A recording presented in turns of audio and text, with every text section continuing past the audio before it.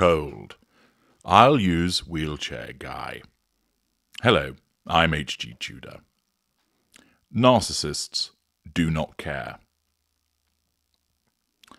Some narcissists never demonstrate anything that comes near to the suggestion of caring. Other narcissists create a facade of caring, which is shown to the outside world.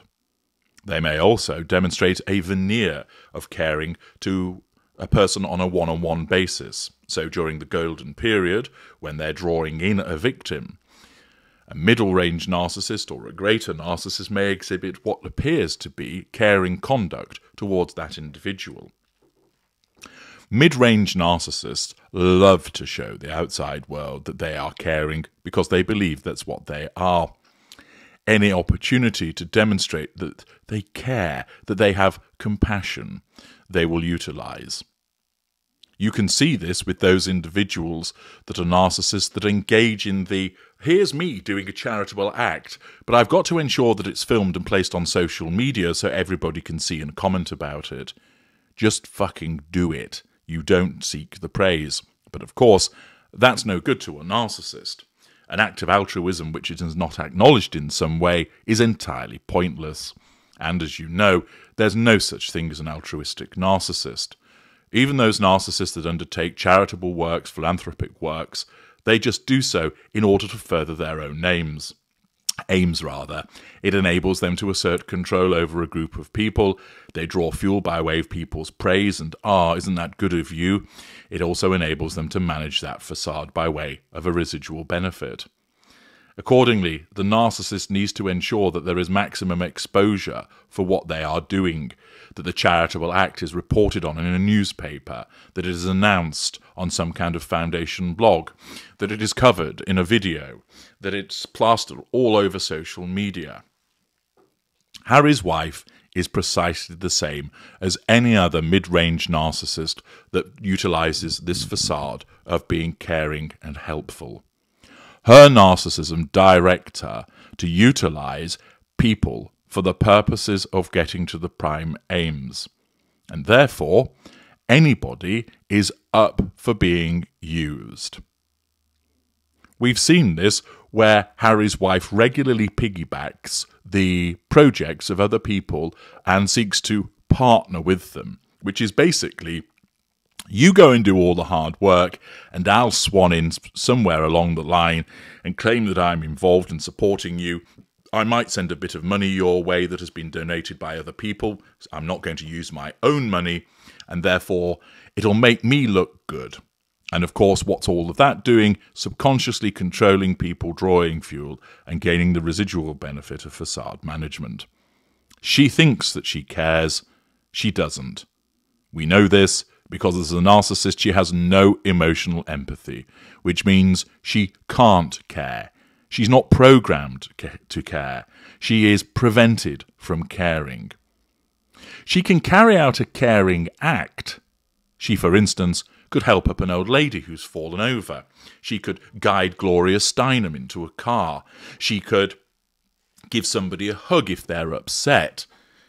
But it's not actually being done to support that person or make them feel better. That just happens to be the collateral consequence.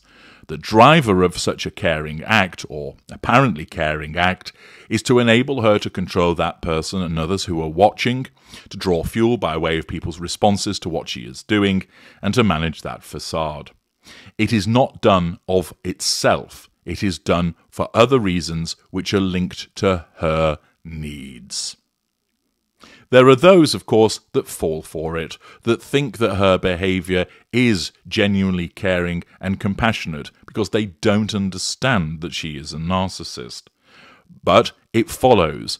The evidence demonstrates that she is one. It therefore follows that she has no emotional empathy and therefore cannot care. No narcissist cares. It is mutually exclusive. What we can do is give the appearance of caring. And in the short piece of footage that I'm going to show to you in a moment, we have an excellent example that enables you to see how Harry's wife simply does use people and doesn't care, and how her narcissism doesn't get it right once again. Because this takes place in public, but it demonstrates what's really going on underneath, namely, there is no emotional empathy. Let's have a look at the footage.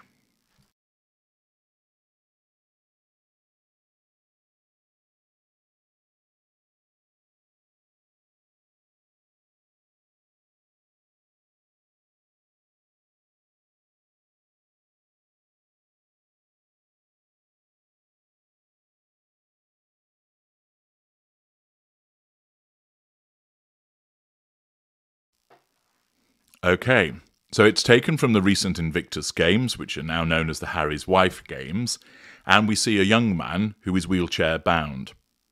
Harry's wife walks alongside him, positions herself behind him, stoops down to enable her to have a photograph taken with him to make it look like she's a nice person.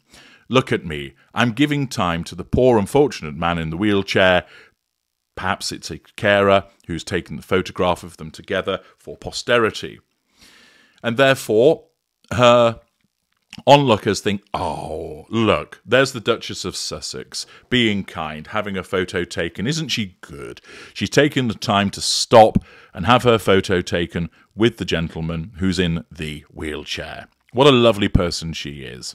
Thus, facade managed, fuel received from people observing her, and she feels like she's a good person. But did you notice she didn't bother interacting with the man? She didn't look him in the eye, she didn't say hello to him, she didn't touch him, she didn't try and engage with him. She just walked behind him, had the photo taken, and then walked off. Why? Because she's got no emotional empathy. She wasn't interested in him. She wasn't interested in how he felt. She was just interested in the opportunity that it presented for her to enable her to assert control over the onlookers, draw fuel from their responses, and manage her own facade. It's all about her, and the man in the wheelchair is just there to be used. Her narcissism glitched again because it failed to cause her to have some form of engagement with the man. Instead, the narcissism simply thought the most direct route available to us here is get the photo taken and move on. We don't want to talk to him. We don't care about him. We're not interested in him. Nothing to be served in that. Just get the photo and get out of there. But then witness what happens thereafter. When somebody else comes along who isn't in a wheelchair, she actually engages with them. Again, she only does so for the purpose of asserting control over them and the onlookers, again to draw fuel from them, and again to manage the facade. But it shows the coldness of Harry's wife, the complete absence of emotional empathy, and on this occasion, the failure of her cognitive empathy to even show an ounce of engagement for the man in the wheelchair, but she will do so for somebody who is not in a wheelchair. That's because her narcissism recognizes she's going to get more of a response from them than she did from the man in the wheelchair. And thus, her narcissism thinks, engage with them, there's more to be obtained. Again, it's just about using people. Using the young girl because she can respond and provide fuel, whereas it would appear that the man in the wheelchair is less likely to do so. Thus, we'll just ignore him and have a photo taken and then move on.